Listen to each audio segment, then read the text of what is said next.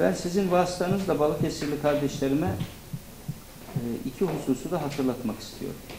Bunlardan birisi yatalak hastası olan kişiler bizim mutlaka bu işle ilgili telefonumuzu arasınlar. 444 38 33 numaralı telefon. Evinde yatalak bir hastası olan, yatağa bağlı bir yakını bulunan kişi aradığında ekiplerimiz ona gidiyorlar.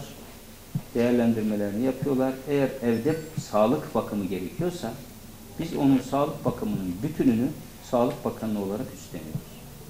Hastaneye gitmesi gerekirse biz taşıyoruz. Evinde bir rapor verilmesi gerekiyorsa doktora evine gönderiyoruz. Diş hekimine evine gönderiyoruz.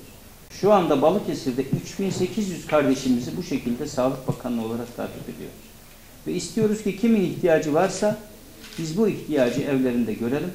Vatandaşlarımız bu meseleyi mutlaka iyi takip etsinler. Tekrar söylüyorum. 444 38 33 numaralı telefonu aramanız bu iş için yeterlidir.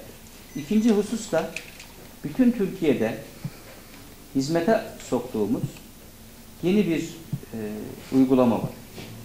Bu da 182 numaralı telefonla randevu alma hizmeti. Türkiye'nin neresinde olursanız olun. Şimdi Balıkesir'deyiz. Örneğin Balıkesir'in bir ilçesindesiniz ya da köyündesiniz.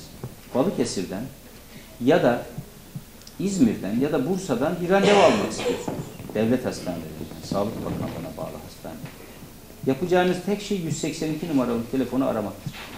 Telefonu arıyorsunuz, randevunuzu alıyorsunuz, istediğiniz hastaneden, istediğiniz doktora giderek muayene olma imkanınız var. Bu da vatandaşlarımız için büyük bir kolaylık.